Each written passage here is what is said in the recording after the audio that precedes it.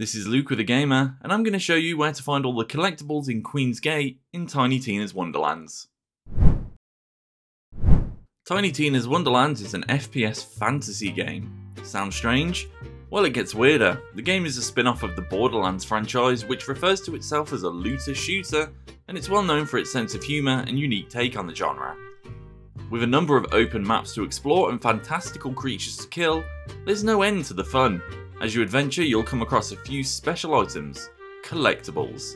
They may provide experience, gold, buffs, or some combination. In this video, we're going to show you where to find all the collectibles in the Queen's Gate level.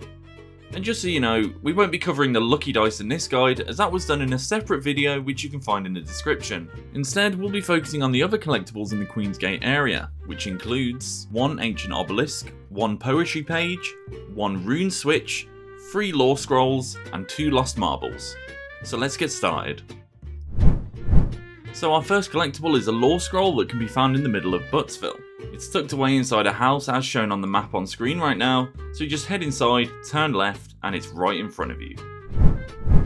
Now we're going to head over to Honor's Tower on the west side of the map where we can find a lore scroll and a marble both quite close to each other. The scroll is found pretty much directly in front of you, just run straight forwards, climb up this ledge and you'll find it there.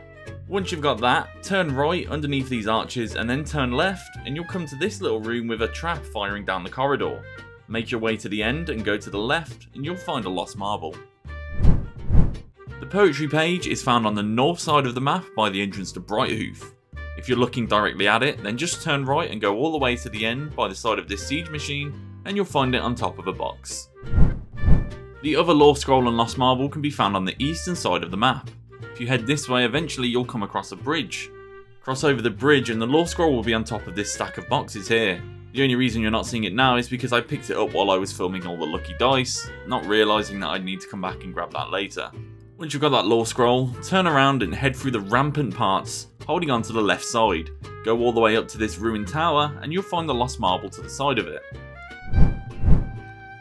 Moving on to the rune puzzle which can be found on the south side of Buttsville. You'll need to climb across a couple of rooftops to get up there, but it's not too tricky. Once you get up there and activate it, all the runes will pretty much line up in a straight line in front of you, so it's just a matter of jumping between a few rooftops to get there. As you can see, I'm displaying the full route I took on screen, and it's clearly quite easy to get all of these within the time limit and get yourself a nice little bit of loot. And finally, we're on to the obelisk. You can't actually get to the obelisk until you've completed the story quest Emotion of the Ocean, which involves Torgue blowing up the ocean. But once you've done that, you can find it on the southeastern side of the map. Once you activate it, it will spawn a swarm of goblins in various shapes and sizes to attack you, so just clear them out and you'll complete this obelisk. So thanks for watching and I hope this guide helps you out. And remember, there's another guide on where to find all of the lucky dice in Queen's Gate on the channel and in the description, and check out thegamer.com for more.